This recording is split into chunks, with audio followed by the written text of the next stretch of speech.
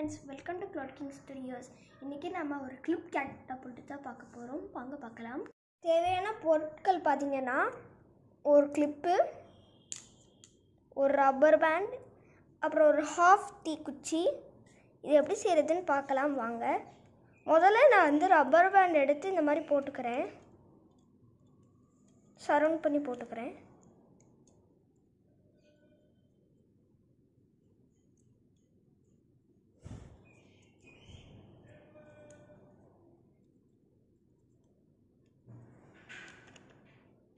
அடுத்து பார்த்தீங்கன்னா நான் இதை அமுத்திக்கிறேன். அடுத்து இந்த ஹாஃப் தீக்குச்சியை நான் இப்படி எடுத்துட்டு உள்ளே ப்ளேஸ் பண்ணி இப்படி வச்சுட்டேன். அவ்வளோதான் நம்மளோட நம்மளோட கிளிப் கேட்டபுல்ட் ரெடி இது எப்படி யூஸ் பண்ணணும்னு பார்த்தீங்கன்னா இப்படி ரிலீ இது ரிலீஸ் பண்ணால் அந்த இந்த இது போயிடும்.